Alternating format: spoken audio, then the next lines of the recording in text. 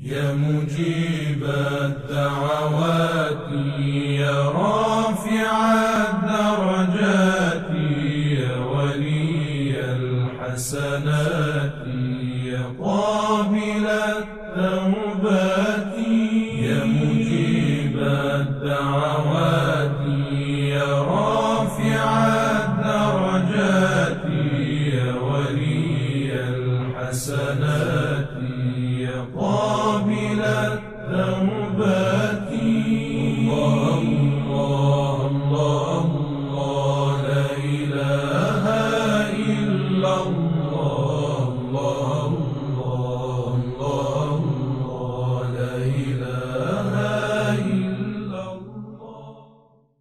بالله من الشيطان الرجيم بسم الله الرحمن Ассаламу алейкум варахматуллах, уважаемые наши телезрители. Приветствуем вас на нашем телеканале Хади ТВ3.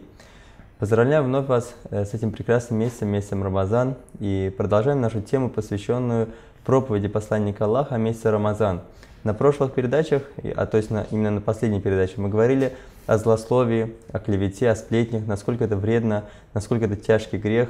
И хотелось бы именно с того момента продолжить. У нас снова в гостях уважаемый худжат Ислам Аль Муслимин Шейх Курбан. Ассаламу алейкум, Шейх Курбан. Алейкум ассалам рахматуллах.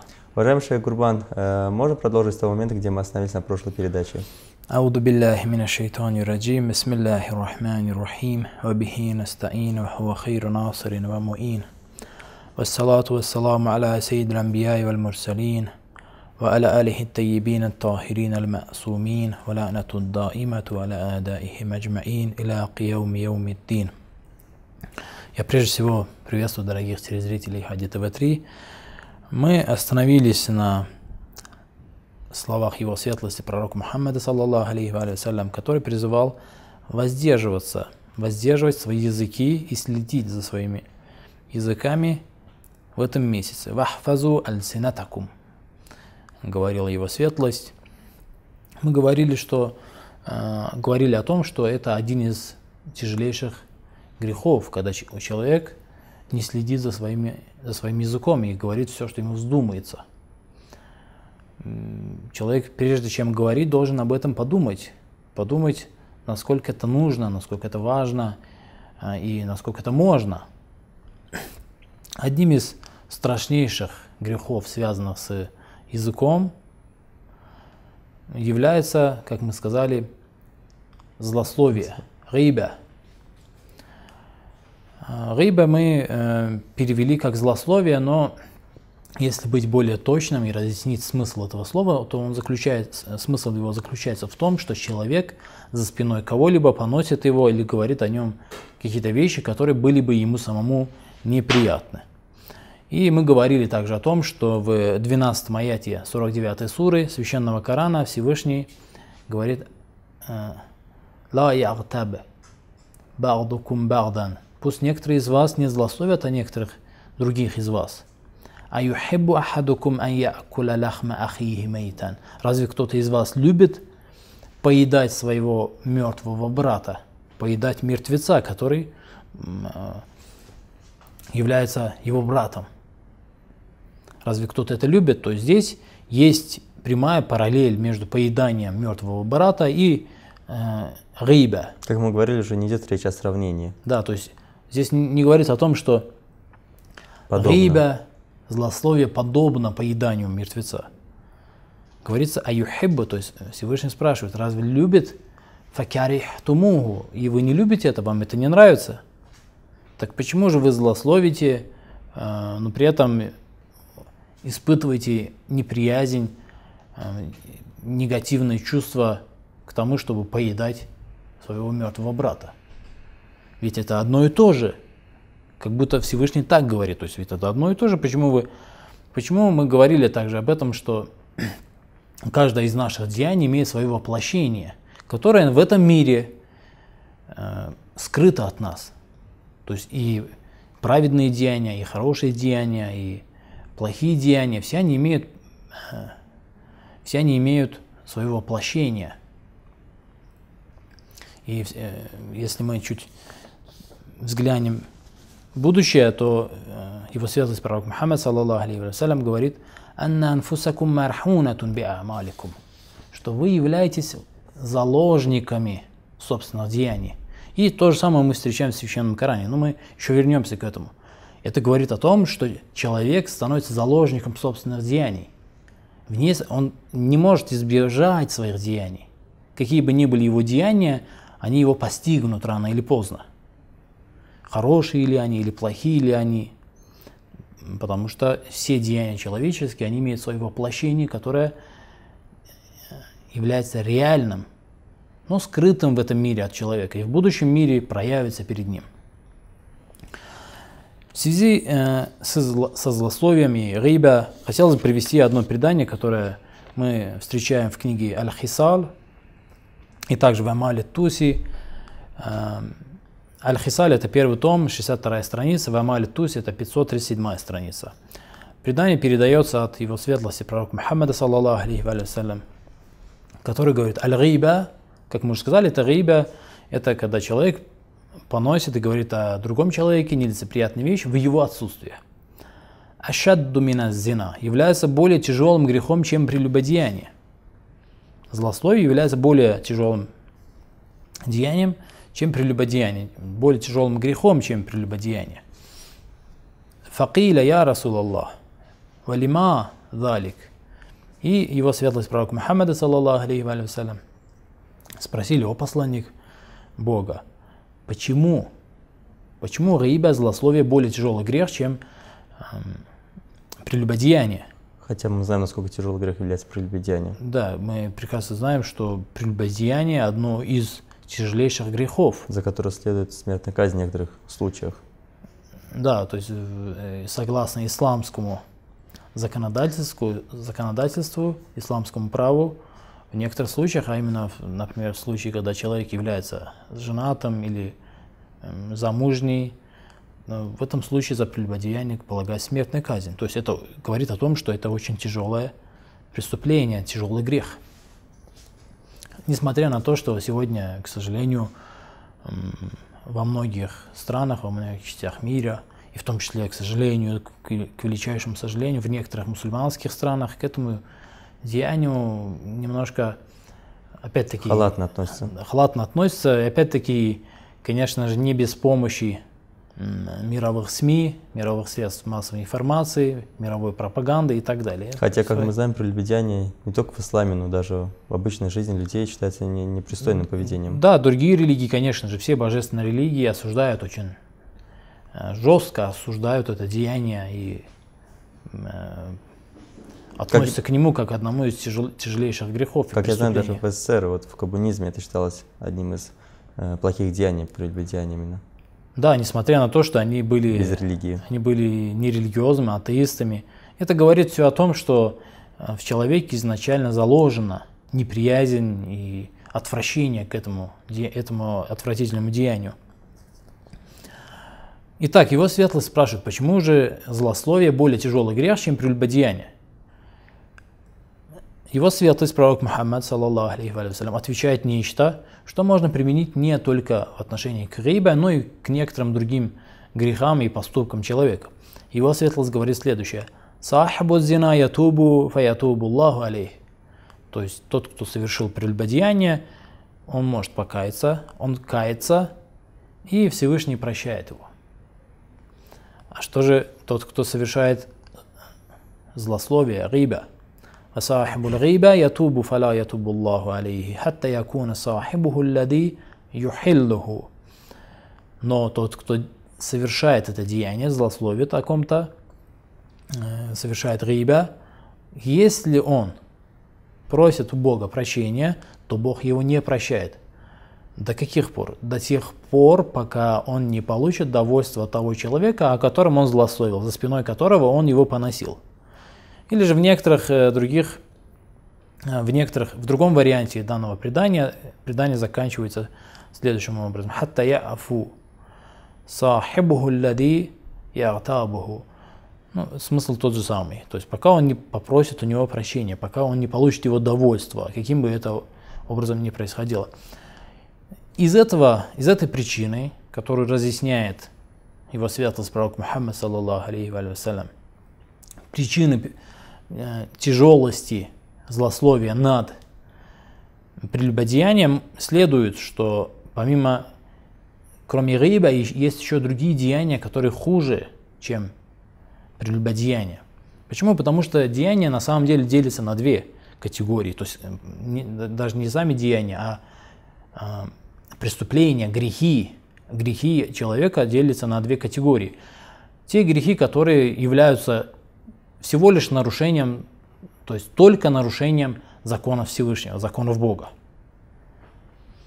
Но есть грехи, которые помимо того, что являются нарушением закона Бога, помимо этого они также являются нарушением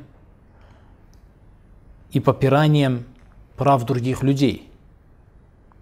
Ну, например, в первую группу входят, например, а, Несовершение молитвы. Несовершение молитвы. Или же эм, э, несоблюдение поста в месяц Рамадан. Это грехи, которые всего лишь являются, только являются э, нарушением и ослушанием закона Всевышнего, повеления Всевышнего. Ну, такие преступления, как воровство, например, или же избиение человека другого. И в том числе Злословие. Злословие, риба, Это... они являются из второй группы. То есть помимо того, что они запрещены Богом и совершает эти деяния, человек нарушает повеление, ослушивается повеление Всевышнего, помимо этого он также нарушает чужие права. И поэтому в этой категории, во второй категории деяний, человеку недостаточно просить а, у Всевышнего, у Бога прощения. В первой достаточно. Если человек не совершает молитву, не держал пост какой-то месяц, ему достаточно а, искренне раскаяться в искренне этом. раскаяться. И в некоторых случаях возместить. Но опять-таки все дело он будет иметь только со Всевышним, с Богом. А во второй случае, когда он совершил второй, второй вид греха, то ему недостаточно покаяться перед Всевышним. Ему необходимо покаяться перед Всевышним, но недостаточно. Ему нужно также получить довольство того человека, чьи права он попрал, чьи права он отнял, к, по отношению к кому он совершил это преступление, эту несправедливость. И, конечно же, так как Всевышний милостивый, милосердный, он легко прощает своих рабов, которые каются перед ним искренне. Ну а как же люди? Являются люди такими же милосердными, милостивыми? Нет, конечно. Не каждый может простить тебя. И большинство не простят. Только единицы могут простить. Как, как правило, мы наблюдаем, что большинство людей не, не готовы прощать других людей за то, что они совершили по отношению к ним. И поэтому подобные деяния, они более, являются более тяжелыми, чем первая категория. Потому что в них тяжелее получить, а, от них тяжелее очиститься, покаяться, получить довольство – того, против кого они совершены. Естественно, эта категория. Вторая группа категорий является а, более тяжелой, чем первая группа категорий. Э, первая, группа, первая группа грехов. грехов. Поэтому нужно, конечно же, всячески быть э, бдительным, внимательным, дабы не совершать подобные э, грехи, как злословие. Уважаемый Шейх Гурба, мы должны прерваться на небольшую паузу. Уважаемые телезрители, мы прерываемся на паузу, после которой вернемся. يا مجيب الدعوات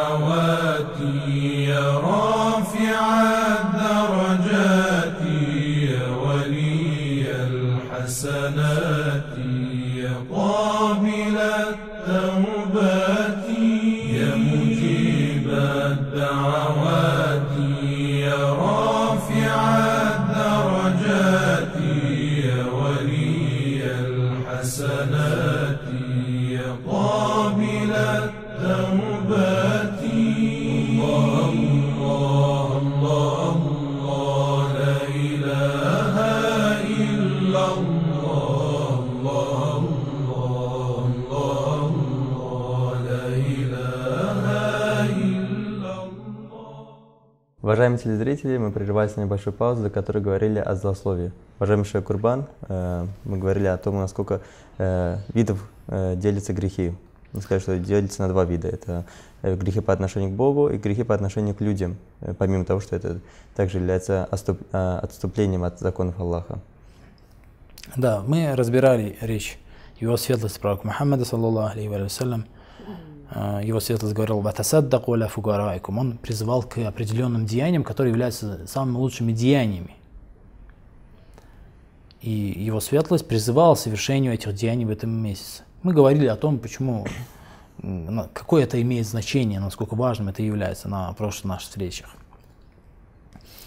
Итак, его светлость говорит, «Ватасаддаку ля фугарайкум». Совершайте благотворительность в отношении своих бедняков, масавакиникум и обездоленных.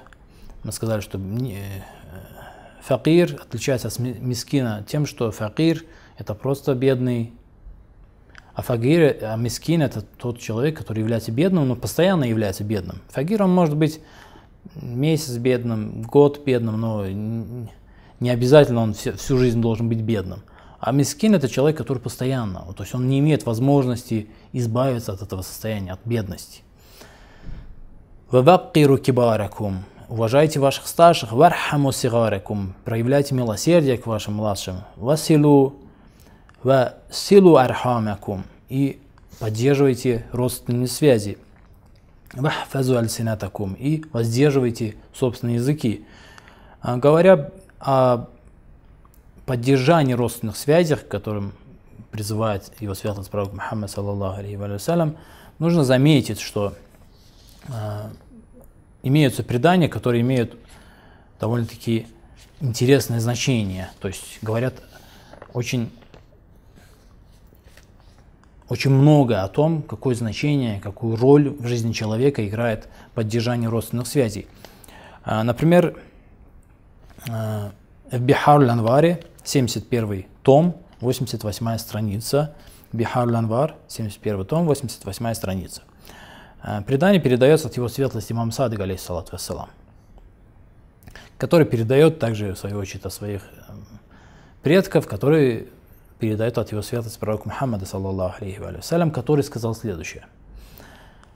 Василата рахми тазиду фил умур, ватан фил факр. То есть поддержание, поддерживание а, родственных связей, поддерживание связи со своими родственниками увеличивает жизнь и уничтожает нищету. Я хочу обратить внимание в этом предании на то, что в предании сказано «филь умур». То есть я перевел как «увеличивает жизнь», но на самом деле сказано «увеличивает в жизни», если переводить буквально, как сказано. Или же, если обратимся к другому преданию, который приведен в, в книге «Корбуль Иснад», э, страница 355, э, это предание передается от эм, его светлость имам Садыг, алейхиссалату вассалам. Его светлость сказал следующее. «Инна раджуля ла ясилу рахимаху, фама бакия мин умрихи илля саласу синин». Человек поддерживает отношения со своими родственниками, начинает поддерживать отношения со своими родственниками, в то время как ему остается жить всего лишь три года. Ему остается жить три года, и он начинает поддерживать отношения со своими родственниками. Фаязидуллаху табараки ва та'аля фи умурихи саласина сана. И когда он начинает поддерживать отношения со своими родственниками, Всевышний увеличивает его жизнь на 30 лет. Опять-таки сказано фи умурихи, как в предыдущем предании, то есть в его жизни. Мы пока переведем как его жизнь, а потом объясним, почему именно сказано в его жизни. Не сказано, например, «Язидуллаху табарака ва та'аля умураху». Почему так не сказано? Почему сказано «фи умурихи»? И далее его светлость продолжает. Его светлость имам Садыг, алейсалат вассалам. Инна Аллаха табараки ва та'аля яф алума яша. Он совершает, Всевышний делает то, что пожелает. Ва инна раджуля ла яктау рахимаху ва кад бакия мин умурихи саласуна сана. И Всевышний, э, Всевышний совершает то, что пожелает, и человек, которому остается жить всего лишь, э, остается жить целых 30 лет – человеку предстоит прожить еще 30 лет, но он перестает поддерживать отношения, отношения со своими родственниками. Что здесь происходит? И тогда эти 30 лет превращаются в 3 года. То есть эти три- 30 лет превращаются в 3 года. Инна Аллах яфалю. Итак, в чем же секрет, почему в этом аяте, в этих преданиях, прошу прощения, сказано, что фи умурихи в жизни увеличивает, а не жизнь саму увеличивает. Дело в том, что кто-то может сказать, я не хочу поддерживать родственные отношения, потому что я не хочу много жить. Зачем мне эм, много жить? В чем смысл много прожить? В особенности, когда человек достигает определенного возраста, после которого он уже не живет какой-то яркой, активной жизнью. Многие старики и, старухи, они, их жизнь просто превращается в наподобие э, растительной жизни. Не, не многим это Как дети приятно. становятся беспомощными. Беспомощными, абсолютно верно. Поэтому никто, не, не многие хотят, большинство не хотят прожить долгую жизнь. И поэтому э, говорят, ну какая, какое же благо в этом, проживать много. Но дело в том, что э, Всевышний не увеличивает длительность жизни. Как раз таки предания об этом говорят. Говорят о том, что Всевышний увеличивает вместимость и яркость, активность жизни. Как э, в, в предании из гор Булиснал, Иснад, когда говорится, что человек остается жить 30 лет, а когда он прекращает отношения со своими родственниками, прекращает поддерживать отношения со своими родственниками, эти, три года превращ- эти 30 лет превращаются в 3 года. То есть он успевает за эти 30 лет столько, сколько другие успевают за 3 года. То есть, То есть вместимость, активность, яркость жизни пропадает. Э, У нас есть и другие предания, которые говорят о деяниях, которые также увеличивают в жизни, увеличивают вместимость жизни. Например, говорят, что э, в некоторых преданиях говорится, что э, уважение к родителям, в особенности к отцу, увеличивает жизнь человека. То есть человек живет более яркой жизнью и больше успевает в своей жизни.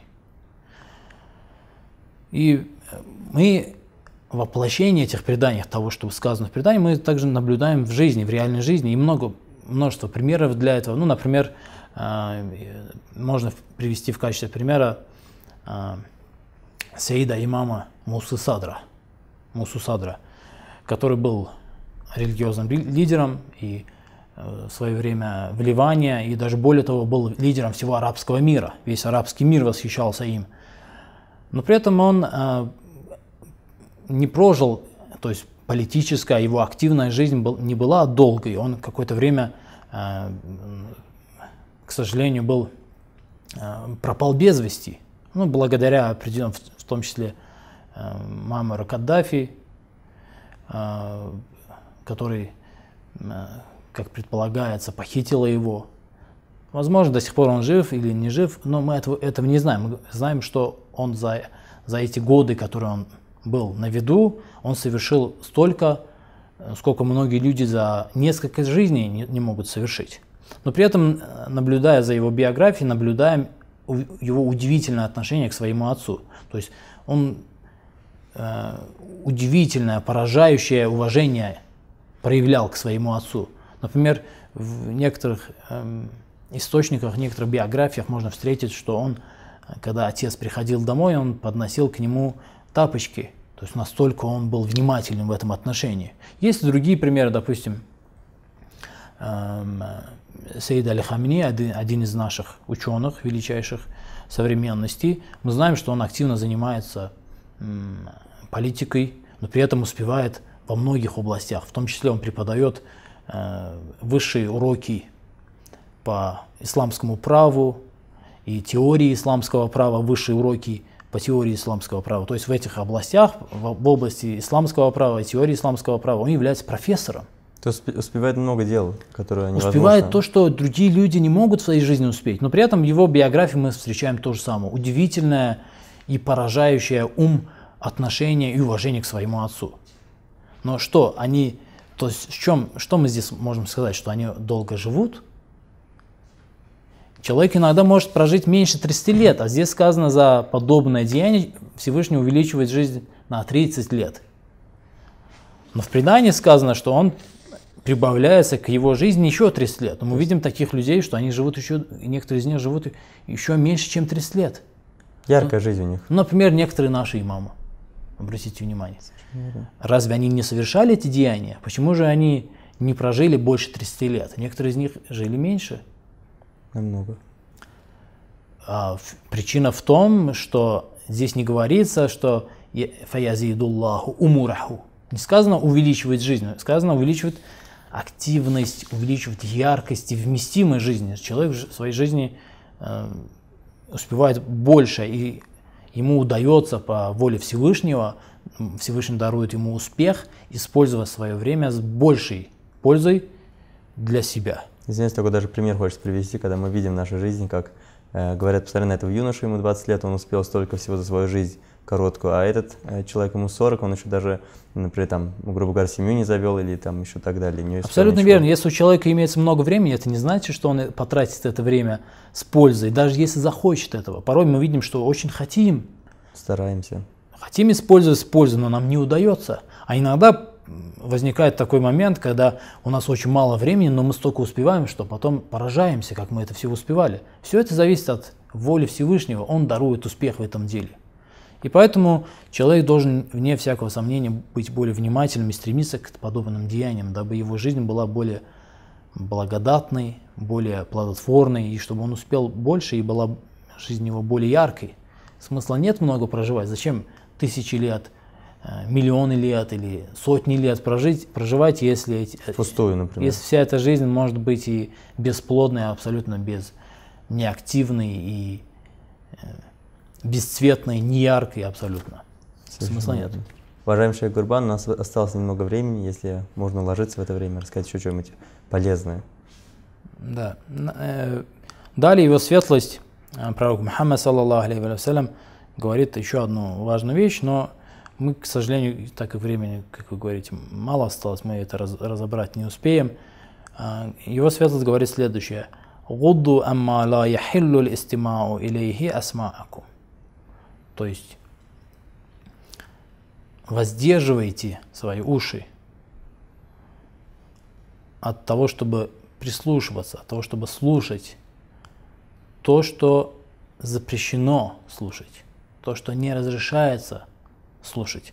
Это также, как и предыдущие пункты, является очень важным моментом. А, В особенности, Касаемо сплетен. да, в, частности, э, есть предание у нас, в котором говорится, что тот человек, который э, слушает сплетни, прислушивается к сплетням, подобен тому человеку, который совершает эти сплетни. И как следствие это, как мы уже выяснили, хуже, чем Прелюбодеяние. то же самое прелюбодеяние, одно из страшнейших грехов.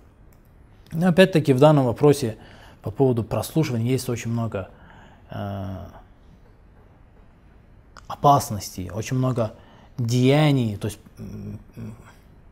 помимо Сплетен. этого деяния, то есть помимо прослушивания сплетен, помимо этого есть еще много проявлений этого деяния, которые с каждым днем становятся все опаснее и опаснее, в, особенности в современном мире, когда та же самая музыка становится неотъемлемой частью э, современного общества, что в свою очередь очень пагубно влияет на человека. Ну, так как мы это уже не успеем разобрать, Совершенно верно, уважаемый Шейх Гурбан. Более лучше будет оставить эту тему на следующей передаче, так как наше время ограничено.